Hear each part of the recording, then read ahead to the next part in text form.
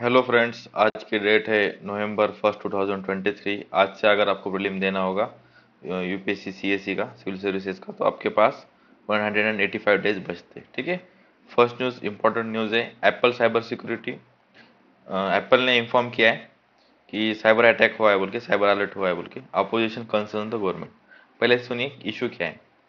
कुछ opposition leaders को और कुछ लोगों को एप्पल की तरफ़ से एप्पल जो मोबाइल बनाती है कंपनी जो उनका फ़ोन यूज़ करते हैं, उनकी तरफ़ से एक मैसेज आया है कि आपका फ़ोन हैक या फिर वॉच किया जा रहा है स्टेट स्पॉन्सर्ड एजेंसी के द्वारा, ठीक है? कोई तो भी आपके पूरे मैसेज आ रहे हैं, किसको मैसेज भेज रहे किससे बात कर रहे हैं, आपका कैमरा ऑन हो जा रहा है, आपको बिना पता चले तो ये सारी चीज़ें हो रही है। इससे पहले भी पेगासिस रिगार्डिंग इशू आया था, उसको भी देखेंगे अपन, और लेकिन पहले देखेंगे आज की न्यूज़ क्या है, ठीक है? Over a dozen opposition's leader and the journalist received email alert from US based tech giant Apple on Monday night. ठीक है? उनको एप्पल से ईमेल आया है informing them that their digital device were being targeted by state sponsored attackers okay state sponsored attacker उनको device को target कर रहे हैं। On Tuesday the union government said it would launch an investigation into the alerts union government ने बोला है कि हम इसके ऊपर इन्वेस्टिगेशन बिठाएँगे। Apple believes that you are being targeted by state-sponsored attackers who are trying to remotely compromise the iPhones associated with your Apple ID. ठीक है अलर्ट नहीं है बोला है अलर्ट के अंदर ये मैसेज है कि स्टेट स्पॉन्सर्ड जो अटैकर्स है वो आपकी सिक्योरिटी को कॉम्प्रोमाइज कर रहे हैं रिमोटली वहाँ बैठे बैठे बिना हाथ लगाए आपके फ़ोन के these attackers are getting uh, lightly targeting your individually because of who you are or what you do एक तो आप कौन इसकी वजह से आपको टारगेट कर रहे हैं या फिर क्या हरकतें कर रहे हो आप, उसकी वजह से आपको टारगेट कर रहे हैं। If your device is compromise by the state sponsor attacker they may be able to remotely access your sensitive data communication and even the camera and microphone ठीक है? तो उन्होंने बोला, अगर आपका फ़ोन कॉम्प्रोमाइज डाटा होता है इसके अंदर तो वो जो यूज़ कर रहा है, जो हैक कर रहा है बंदा, वो आपका माइक्रोफोन चालू कर सकता है बिना आपको बताए। आप किससे बात कर रहे हैं? आपके हाथ में फ़ोन है तो आपको नहीं समझ में आएगा, लेकिन उसको सारी कन्वर्सेशन समझ में आएगी। कैमरा फ़ोन को चालू कर सकता है, आपको बिना पता चले कम्युनिकेशन सेंसिटिव डाटा वो एक्सेस कर सकता है आपके फ़ोन के अंदर का, ठीक है? तो अभी इसका आगे का देखेंगे क्या इसके दिया है।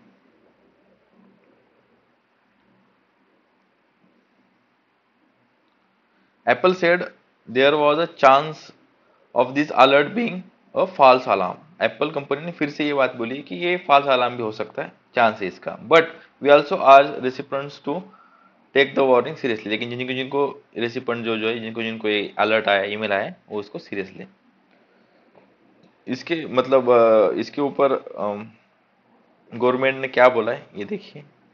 Individuals in 150 countries had received such alerts, but the company subsequently clarified that the referring to the entire history of these alerts in 2021, not in immediate past. ठीक है तो ये 2021 तक की इनकी जो हिस्ट्री है उसको एनालाइज करके ये अलर्ट्स भेजे गए ईमेल भेजे गए और ये 150 कंट्री के लोगों को भेजे गए इंडिविजुअल्स को भेजे गए सिर्फ़ इंडिया के इंडिविजुअल्स को नहीं भेजे गए ठीक है ये इन्होंने बोला है ठीक है तो the government said it will investigate into the alerts and urge Apple to cooperate ये गवर्नमेंट का टांस इतना है, बातें याद रखिए इसके अंदर। एप्पल से ईमेल आया है। स्पेसिफिक लोगों को टारगेट किया जा रहा है अपोजिशन के, किसी न्यूज़पेपर के वगैरह उनको। और उसके खिलाफ गवर्नमेंट ने बोला है कि विल टेक एक्शन और 150 कंट्रीज़ के इंडिविजुअल्स को ये एस आ चुके अलर्ट्स आ चुके, ठीक है? इतना इस चीज़ में बाकी कुछ भी नहीं यहाँ पे बहुत इंपॉर्टेंट न्यूज़ है इंडिया बांग्लादेश रिलेशंस के लिए। Akura Agartala rail link to be inaugurated virtually by PM Modi and PM Sheikh Hasina today, ठीक है? दोनों ये वर्चुअली इनोग्रेट करेंगे Akhaura Agartala rail network railway को, ठीक है? In a historic move Bangladesh and north east India will reestablish the railway connectivity through Tripura on Wednesday ठीक है? तो बांग्लादेश त्रिपुरा से डायरेक्ट कलकत्ता तक एक ट्रेन जाएगी, वो बांग्लादेश को सरपास करके वहाँ से हो जाएगी तो ये पहली बार हिस्ट्री में हो रहा है, ठीक है? After a nearly gap of seven and half decades सत्तर, पचहत्तर साल के बाद ये चीज़ पहली बार हो रही है। The much awaited Akhaura Agartala rail link will be inaugurated by prime minister Narendra Modi and his and his Bangladesh counterpart Sheikh Hasina ये दोनों मिलकर इसको इनोग्रेट करेंगे, ये इन्होंने बोला this rail link will be seen as the first step to connecting Tripura to Kolkata through the Bangladesh. ये बात याद रखिए बांग्लादेशी लाइन चली जाएगी सीधी, ठीक है? At the present train to Agartala run through the longer route via Guwahati and Jalpaiguri station the link will be significantly reduce the time and distance सही सी बात है। To reach the Tripura southern Assam Mizoram from Kolkata this will help to boost the India Bangladesh trade trade भी इसके boost होगा। अगर train जाएगी तो सामान भी जाएगा उसके साथ। In agriculture products tea sugar construction items iron steel custom items consumer items besides people to people ties भी इससे बढ़ेंगे, ठीक है? The Anku the Akhaura Agartala cross border rail link project supported by grant aid of 392.52 crore extended to Bangladesh by the Indian government तो ये बात यहाँ पे इंपॉर्टेंट है, याद रखिए कि इंडिया ने ग्रांट दिए, उनको वो पैसे वापस नहीं करने, बांग्लादेश को कितने रुपए की? 92 करोड़ रुपए की और उसके अंदर ये प्रोजेक्ट बना ये इंपॉर्टेंट पॉइंट है कि इसको पूरा इंडिया ने पैसा दिया है प्रोजेक्ट बनाने के लिए। The Akhaura junction located in Bangladesh Brahmanbaria district is part of the Chittagong division and has been rich history of commercial and cultural ties in north east India region seen the colonial era तब से इनके ties अच्छे the project was revived in two thousand ten when the Prime Minister Manmohan Singh signed an agreement to rebuild the connectivity through uh, Mrs. Uh, Sheikh Hasina, Miss Sheikh Hasina's visit to New Delhi New Delhi में जब शेख हसीना जी आई थी तभी मनमोहन सिंह ने 2010 में इस project को revive करने की बात की थी लेकिन ये कंप्लीट अभी हुआ है ठीक है 2023 के अंदर बहुत इंपॉर्टेंट है Akhaura Agartala rail link project ठीक है कहाँ से अंकुरा से अगरतला तक ये रेल लिंक कनेक्ट करेगी। ठीक है? अगरतला त्रिपुरा के अंदर है और अंकुरा कहाँ पे? बांग्लादेश के अंदर। ठीक है? तो ये सीधी जाएगी बांग्ला ये कनेक्टिविटी करेगी नॉर्थ ईस्ट रीजन को कोलकाता से। ठीक है? इतनी सारी चीज़ें याद रखिए, बाकी कुछ भी नहीं इसके अंदर इंपॉर्टेंट यहाँ पे एक छोटी सी न्यूज़ है। Social worker from Bastar wins Rohini Nair prize तो यहाँ पे इंपॉर्टेंट बनता है रोहिणी नायर प्राइस क्या है? ठीक है देखते हैं इसकी थोड़ी information Rohini Nair prize for outstanding contribution to rural development ये पूरे प्राइज का नाम है. ये रूरल डेवलपमेंट के लिए दिया जाता है. इज़ अवार्डेड एनुअली हर साल दिया जाता है by the Nair foundation for social economic purpose in the memory of Rohini Nair. इनके याद में इसको दिया जाता है रोहिणी नायर की. Was uh, a renowned economist who worked in the Planning Commission of India and became IAS officer and passed in October 2021. ठीक है? प्लानिंग कमीशन में काम किया इतनी बात याद रखिए। The prize consist of cash of ten lakh rupees cash मिलते ten lakh rupees citation and a trophy to an individual of forty years और अंडर दे चालीस साल के अंदर ही ठीक है? तो आपकी उम्र चालीस साल की ज़्यादा होगी तो आपको नहीं मिल सकता ये ट्रॉफी इतनी बात याद रखिए। Setri Chem Sangtam, a 40 year old who run an NGO that works with the farmers in eastern Nagaland, the first uh, Rohini Nair prize for outstanding contribution to rural development ये first prize विजेता है इस prize के ठीक है? इतना ही इनका नाम याद रखिए और इस इसके रिगार्डिंग इंफॉर्मेशन भी याद रखिए। उसके बाद PM Modi pays tribute to Patel launches the development project in statue of statue of unity तो ये स्टैचू ऑफ़ यूनिटी को विज़िट करने गए थे। स्टैचू ऑफ़ यूनिटी कहाँ पे है? केवाड़िया में, ये गुजरात के अंदर है। ठीक है? देखते हैं न्यूज़ में क्या है। Prime minister Narendra Modi paid flower tribute to Jawaharlal Nehru sorry paid flower tribute to Sardar Vallabhbhai Patel at the statue of unity in the Narmada Gujarat on the birth anniversary of India first home minister which is celebrated at उसको कैसे celebrate किया जाता है? National unity day के हिसाब से ठीक है? तो थर्टी फ़र्स्ट अगस्त को थर्टी फ़र्स्ट अक्टूबर को इनकी बर्थ एनिवर्सरी थी उसी को अपन जन्म दिवस को अपन नेशनल यूनिटी डे करते हैं ठीक है? एंड uh, इनका स्टैचू कहाँ पे? नर्मदा डिस्ट्रिक्ट के अंदर है ठीक है? गुजरात के अंदर. Is world tallest statue with height of 182 metres दुनिया का सबसे ऊँचा स्टैचू है 182 मीटर्स इसकी हाइट है ठीक है? ये इंपॉर्टेंट डाटा इसको याद रखिए. और इसको तीन मिलियन लोग एनुअली विज़िट करने आते हैं। मतलब तीस लाख लोग इसको एनुअली विज़िट करने को आते हैं। ठीक है? तो ये इतना इम्पोर्टेंट इसके अंदर। यहाँ पे एडिटोरियल एक इंपॉर्टेंट है। जो ग्लोबल क्लाइमेट चेंज हो रहा है, उसके लिए जो फाइनेंसिंग का प्रॉब्लम आ रहा है, जो डेवलप कंट्री को बोला गया था कि आप पैसे दो डेवलपिंग कंट्री को। ट्रांजिशन करने के लिए कन्वेंशनल फ्यूल जैसे फॉसिल फ्यूल यूज़ करने से उनको रिन्यूअल एनर्जी तक लाने के लिए तो उससे रिगार्डिंग है आर्टिकल इसमें ये बोला गया है कि पैसे नहीं दे रहे हो, देंगे भी कैसे? ठीक है? तो उससे रिगार्डिंग है आर्टिकल है, और देखेंगे इसके अंदर क्या क्या है। ठीक है? अभी जो कॉन्फ्रेंस ऑफ़ पार्टीज़ की मीटिंग होगी ट्वेंटी एट ठीक है? वो दुबई में होगी, नवंबर, दिसंबर के अंदर। तो उसके एक इंडेक्स में ये बोला गया है कि 1.1 अगर टेम्परेचर बढ़ता है तो उसकी वजह से क्लाइमेट चेंज हजार्डस हो सकता है फ्लैश फ्लड्स आ सकती है। पूरा इम्पैक्ट हो सकता है इन्वायरमेंट के ऊपर, ठीक है? इसकी वजह से आपने को जल्द से जल्द इसको मिटिगेट करने के लिए क्लाइमेट फाइनेंस करना चाहिए। पैसे दे के इसको जो कार्बन प्रोड्यूसिंग कंट्रीज़ है उनको अपन फंड करने चाहिए। अभी आप बोलोगे उनको क्यों फंड करना चाहिए? क्योंकि जो इंडस्ट्रियल रिवॉल्यूशन आया, तब जो डेवलप्ड कंट्रीज़ थे, उन्होंने पूरी डेवलपमेंट कर ली, पूरा कार्बन इमिशन किया क्लाइमेट को ख़राब कर दिया। अभी डेवलपिंग कंट्रीज़ जो अभी इंडिया के जैसे चाइना के जैसे। ये डेवलपिंग कंट्री जब अभी कुछ इंडस्ट्रीज़ प्रोजेक्ट लगा रहे तो वो कार्बन इमिशन उनको दिख रहा है और वो बोल रहा है अभी तो और बढ़ जा रहा है। तो फिर डेवलपिंग कंट्रीज़ ने डेवलप कंट्रीज़ को बोला कि भाई ये बढ़ जा रहा है तो आप हमको टेक्नोलॉजी दे दो ना। आपने जो अडोप्ट की क्लीन एनर्जी की तो बोले वो भी नहीं देंगे तो बोले पैसे भी दे दो। तो ये सारी चीज़ों पे अभी बहस चल रही है कि पूरा ब्लेम तो डेवलपिंग कंट्रीज़ डेवलप कंट्री के ऊपर ही जाता है। इसी वजह से ये बोला गया है कि डेवलपिंग कंट्री को फंड दिया जाए इनकी तरफ़ से, ठीक है? तो बात हुई थी कि हंड्रेड बिलियन डॉलर्स ठीक है? क्या बात हुई थी? हंड्रेड बिलियन डॉलर्स का फंड दिया जाएगा एनुअली देखो, हर साल में 100 बिलियन डॉलर्स दिए जाएँगे डेवलपिंग कंट्रीज़ को, ये पहले बोला गया था। तो इस किस, ये किस बेसिस पे बोला गया था कि कॉमन देखो, ये सबकी ज़िम्मेदारी but differential responsibilities and respective capabilities common है सबके लिए ऊपर ये क्लाइमेट चेंज सब, असर तो सबके ऊपर होगा। इंडिया में भी होगा चाइना में होगा अमेरिका में भी होगा। बट डिफरेंशियल रिस्पॉन्सिबिलिटी है। इसकी रिस्पॉन्सिबिलिटी अलग अलग क्योंकि जिन्होंने क्लाइमेट चेंज किया, उनके ऊपर ही ज़्यादा रिस्पॉन्सिबिलिटी आती है। सिंपल सी बात है। और उनकी कैपेबिलिटी कैपेबिलिटी भी ज़्यादा है। ठीक है? तो उसकी वजह से common but differential responsibilities and respective capabilities हर एक की कैपेबिलिटी के हिसाब से वो काम करेगा। ये उन्होंने बोला है। जो पेरिस एग्रीमेंट हुआ था Paris agreement on climate change के अंदर आर्टिकल नाइन के अंदर, ये मैंडेटरी किया गया था कि डेवलप कंट्री को कि बाय एनुअल अपडेट रिपोर्ट्स दी जाए। ठीक है?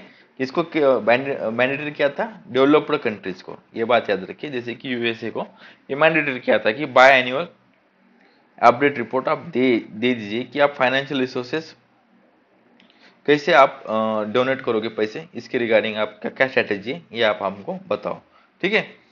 तो 2009 के अंदर जो Copenhagen climate Copenhagen change conference हुई थी तो वहाँ पे डेवलप कंट्रीज़ कमिट किया था। उन्होंने बोला था कि चलो ठीक है, हम 100 बिलियन पर ईयर देंगे बाय 2020 से, ठीक है? तो पलट जाएँगे, ध्यान से सुनना। 2020 में पहले बोला कॉपेनहेगन क्लाइमेट चेंज कॉन्फ्रेंस में 2009 के सॉरी कि 2022 2020 में हम 100 बिलियन डॉलर्स पर ईयर देंगे, ठीक है? और डेवलप कंट्रीज़ के लिए फिर पेरिस एग्रीमेंट हुआ 2015 में, तभी भी उन्होंने कलेक्टिवली एग्री किया कि हम पैसे 2025 तक कलेक्टिवली मूव करेंगे। अभी पाँच साल इन्होंने बढ़ा दिया। 2009 में बोले कि 2020 तक देंगे। फिर उसके बाद उन्होंने बोले 2015 में जब पेरिस एग्रीमेंट हुआ तो बोले कि आप 2025 तक देंगे। ठीक है? अभी तो अभी 2020 आ चुका है 2020 होगा 20 25 आने को है। 2024 तक इनको बोला गया है कि आप पैसे 100 बिलियन डॉलर्स आप फंड अलॉट करो डेवलप कंट्रीज़ के लिए। ठीक है? 26 जो united nations climate change conference हुई थी ग्लासगो के अंदर तो वहाँ पे डेवलप कंट्रीज़ ने ये बोला था कि कि जो 100 बिलियन है, वो तो नहीं हो पाया। हमसे अभी 79.6 बिलियन अभी हम मोबिलेट कर सकते हैं। ये उन्होंने वहाँ पे माना था। ठीक है? तो देखो, इसमें जो डिफरेंशियल कैपेबिलिटीज की जो बात की थी तो उसमें खाली डेवलप कंट्री नहीं कंट्रीब्यूट करेंगे। डेवलपिंग कंट्री भी कंट्रीब्यूट करेंगे उनके कैपेबिलिटी के हिसाब से। तो हर कंट्री अपना nationally determined nationally determined contribution करेगी। यहाँ पे देखिए नेशनल डिटरमाइंड कॉन्ट्रीब्यूशन करेंगे। उसके अंदर वो अपने सेल्फ डिटरमाइंड टारगेट देंगे कि मैं इस साल में इतना रिन्यूएबल एनर्जी से प्रोडक्शन करेगा, इस साल विंड एनर्जी में इतना करेंगे फॉसिल फ्यूल्स को इतना कट ऑफ़ करेंगे वगैरह, ये सारी चीज़ें। ठीक है? उनकी उन्होंने बात की थी। और ये हर पाँच साल में रिन्यू मतलब ये ये करते हैं। रिन्यू मतलब उस इसको रिवाइव करते हैं उस कमिटमेंट को और फिर से जितना कंप्लीट हुआ उसके हिसाब से उसको आगे डिटरमाइंड प्लान बनाया जाता है उसका। ठीक है? और जो ग्लोबल साउथ और ग्लोबल नॉर्थ का पहले कंसेप्ट समझ लीजिए ग्लोबल साउथ वो कंट्रीज़ होती है जो अंडर डेवलप्ड है, जिनका डेवलपमेंट नहीं हुआ है। और ग्लोबल नॉर्थ को इलाइट कंट्रीज़ बोला जाता है कि उनके पास पैसा है डेवलप्ड है इंडस्ट्रियलाइज्ड है, ठीक है? हेल्थ एजुकेशन ये सारी चीज़ें उनके पास है, ठीक है? तो जो बोला गया है कि जो ग्लोबल साउथ ने उनका जो कंट्रीब्यूशन किया था नेशनल डिटरमाइन कंट्रीब्यूशन इंडिविजुअली ठीक है? उन्होंने कंट्रीब्यूट बोला है कि सिक्स ट्रिलियन डॉलर्स को हम कंट्रीब्यूट करें टू थाउज़ेंड थर्टी तक। ठीक है? ये उन्होंने बोला है। और इंडिया के हिसाब से जो रिपोर्ट आई थी जो बायनुअल अपडेट रिपोर्ट ठीक है? For India this third biennial report says India को क्या मिलेगा? Financial assistance derive from the national determined contribution for adoption and mitigation for the 2015 and 2013 are तो इंडिया को कितना पैसा लगेगा? एडॉप्शन के लिए एडॉप्शन के लगे, लगेगा 2015 2013 के लिए 206 बिलियन डॉलर्स और मिटिगेशन के लिए कितना लगेगा? Three eighty four million dollars respectively लगेगी, ठीक है? देखो एडॉप्शन एंड मिटिगेशन दो कंसेप्ट है। एडॉप्शन का मतलब क्या होता है? क्लाइमेट चेंज हो रहा है क्लाइमेट चेंज हो रहा है, ठीक है? लेकिन क्लाइमेट चेंज हो रहा है, उसकी वजह से आपको उसको एडाप्ट करना पड़ेगा ना। कुछ तो नई टेक्नोलॉजी बनाएँगे, उसको बोलेंगे अडेप्टेशन ठीक है? और मिटिगेशन का क्या मतलब है? क्लाइमेट चेंज थोड़ा बहुत तो हो चुका है अभी, ठीक है? तो उसको आप कॉन्कर कैसे करोगे? उसके लिए आपको इंफ्रास्ट्रक्चर बनाना पड़ेगा, ये करेगा तो उसको एक्सेप्ट तो करना पड़ेगा पहले क्लाइमेट चेंज हो गया है। होगा आप फ्यूचर के टेंशन थोड़ी बात कर सकते हैं आप। तो उसके लिए जो फंड लगेगा, उसको बोलेंगे मिटिगेशन फंड ठीक है?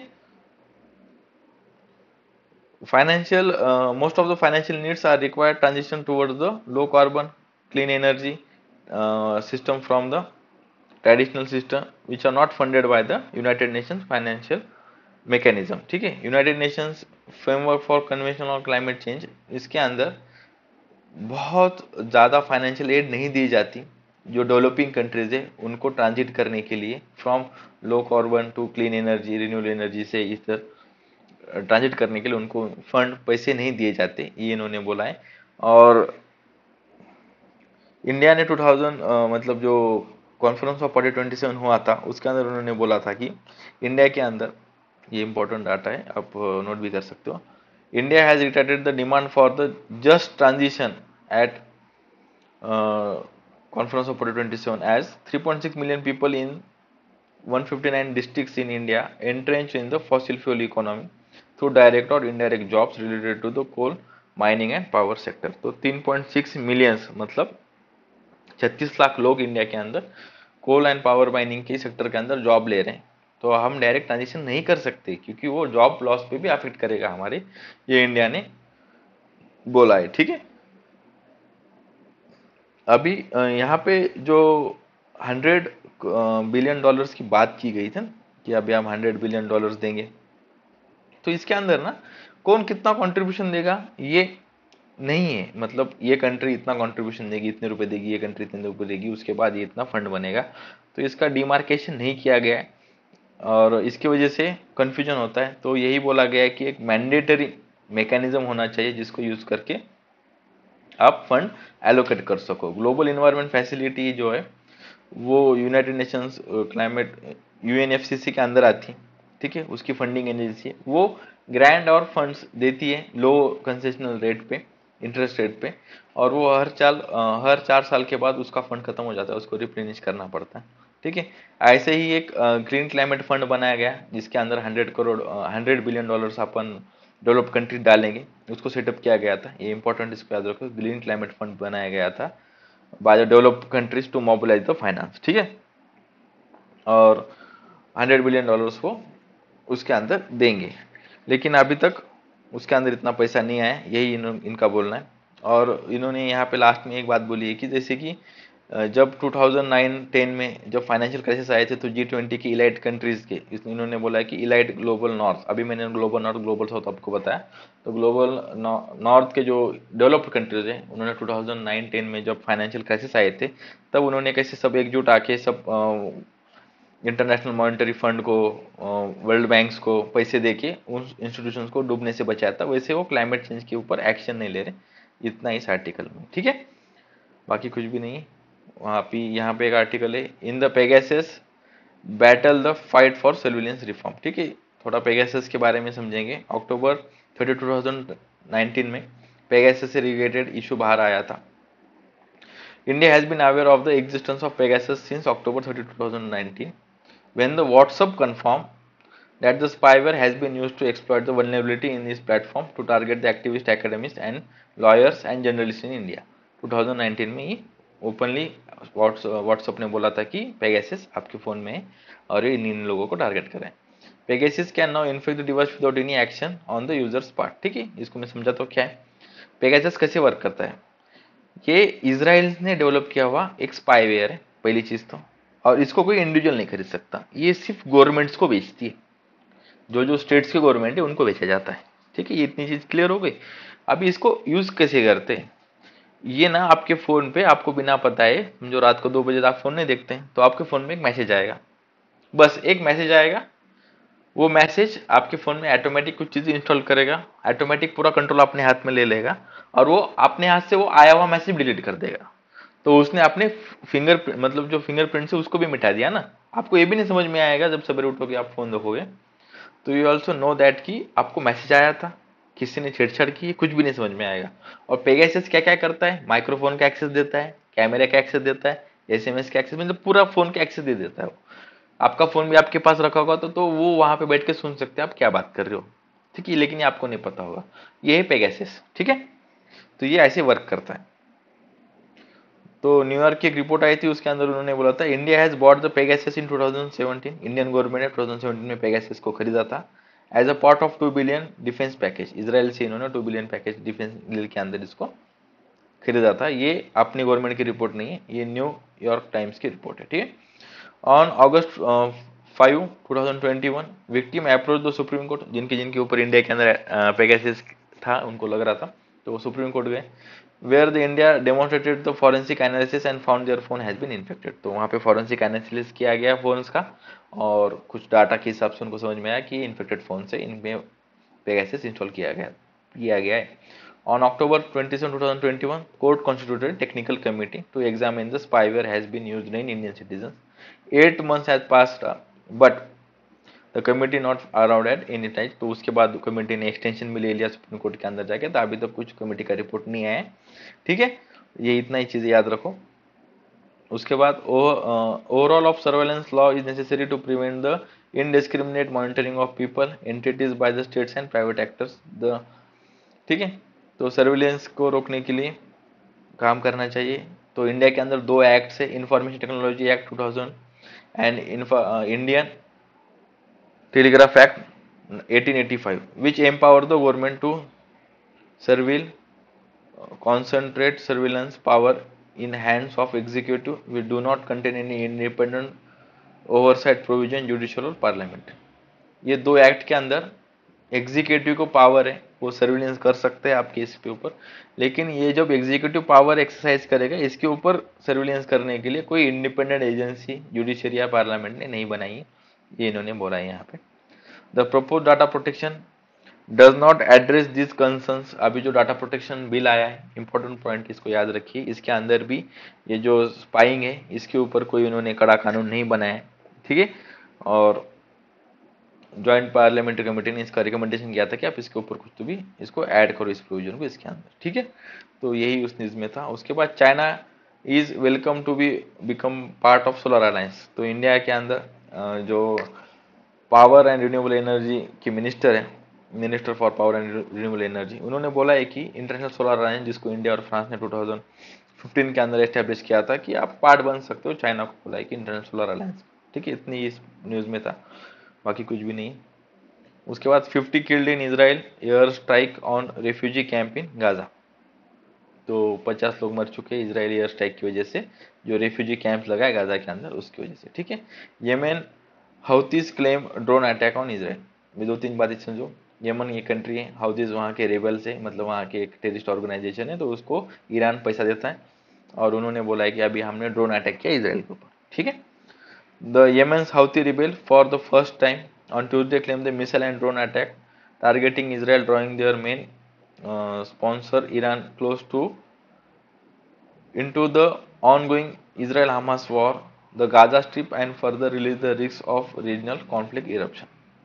ठीक है? तो जो हमास इसराइल वॉर चल रहा है उसकी वजह से उन्होंने इसराइल के ऊपर हमास को सपोर्ट दिखाने के लिए उनके ऊपर एयर स्ट्राइक्स और मिसाइल उन्होंने दागी Gaza now a graveyard for thousands of children United Nations ने बोला है कि एक ग्रेव एड बन चुका है गाजा हज़ारों बच्चों की वजह से। The number of appealing the reportedly more appealing, the reportedly more than 3450 children killed इतने बच्चे मर चुके this rises significantly every day UNICEF का डाटा है। दुखद कहानी, दुखद घटना ही है इसको we should condemn this thing Israel ने ऐसा नहीं करना चाहिए और बच्चों की मौत नहीं होनी चाहिए। Civilians should not be died in the war between the two nations और टू कंट्रीज़ यहाँ पे एक बहुत इंपॉर्टेंट आर्टिकल है deep mission ocean deep ocean mission की रिगार्डिंग ठीक है? तो डीप ओशन मिशन को के अंदर बोला गया था कि जर्नी की जाएगी 600 मीटर मतलब 6 किलोमीटर अंदर दो अंडर दो ocean and indigenously develop submarine होगी with the three men crew ठीक है? तीन मेंबर का क्रू होगा उसके अंदर। इसके सिक्स पिलर इंपॉर्टेंट है, सारे, ठीक है? मेंस में डायरेक्ट क्वेश्चन आ सकता है तो इसलिए इसको रट लीजिए। Development of technologies for the deep sea mining manned submersible to carry the three people up to the depth of six six thousand metres in the ocean submarine will be equip with suit for scientific sensors tools integrated system for mining polymetallic nodules for the central ocean Indian ocean ठीक है? Polymetallic noodles आगे आएगा, उसको देखेंगे अपन। ये तो first point है, इसमें कुछ समझाने जैसा नहीं है। बंदे जाएँगे। सेंसर्स होंगे, टूल्स होंगे, पूरा एनालाइज करेंगे। ठीक है?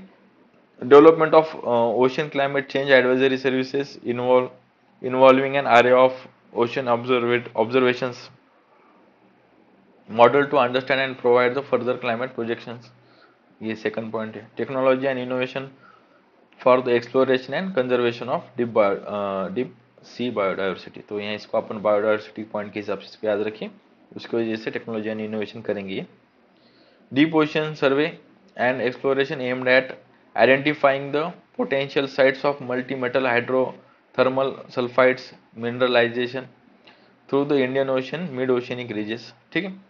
Harnessing the energy and fresh water from the ocean उससे वो एनर्जी और फ्रेश वाटर ओशन के अंदर उसके ऊपर स्टडी करेंगे हार्नेस करेंगे उसको। Establishing and advance marine for ocean biology important है as a hub for the nurturing talent and driving a new opportunity in the oceans and the blue technology blue biotechnology इसके regarding उन्होंने काम कर रहे ठीक है ये छः पिलर्स हैं डीप ओशियन मिशन के इंपॉर्टेंट है इसको आपको रखना ही पड़ेगा the new to new India 2030 document outline the blue economy as the six core objective of India's growth तो जो सिक्स कोर ऑब्जेक्टिव बताया इंडिया के ग्रोथ के अंदर तो उसमें ब्लू इकोनॉमी ब्लू इकोनॉमी मतलब ओशन रिलेटेड इकोनॉमी होती है। In 2023 21 to 30 it has been designated as United Nation 2021-30 तक का जो डिकेड यूनाइटेड नेशन ने decade of decade of ocean science बोल के डिक्लेयर किया गया है। ठीक है? ये भी इंपॉर्टेंट डाटा है यूनाइटेड नेशन डिक्लेयर करते हैं एक डिकेड को तो 21 और 2030 2021 2030 को ओशन डिकेट डिक्लेयर किया गया है ठीक है? United Nations International seabed authority इसका आगे, आगे, आगे आएगा।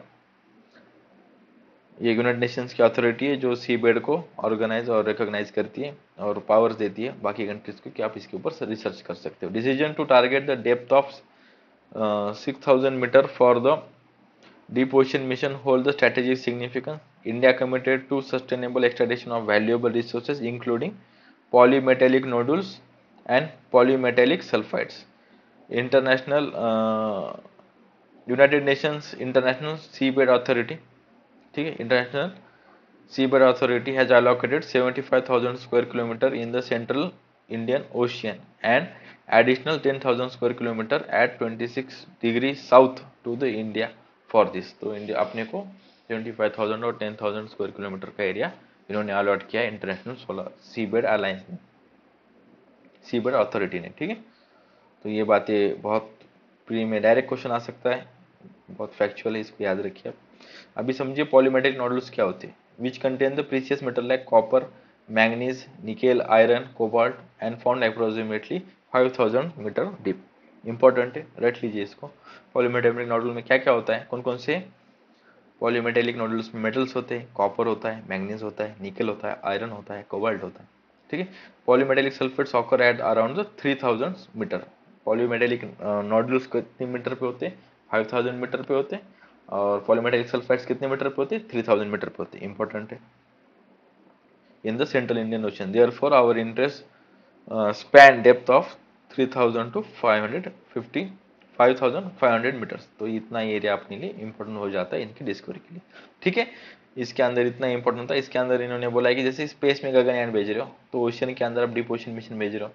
तो ये दोनों में कुछ डिफरेंस है? स्पेस के एक्सप्लोरेशन में और ओशन के एक्सप्लोरेशन में? उसके ऊपर आर्टिकल था। इसमें कि जितने जितने इंपॉर्टेंट पॉइंट्स है, मैंने आपको बता दिए। ठीक है?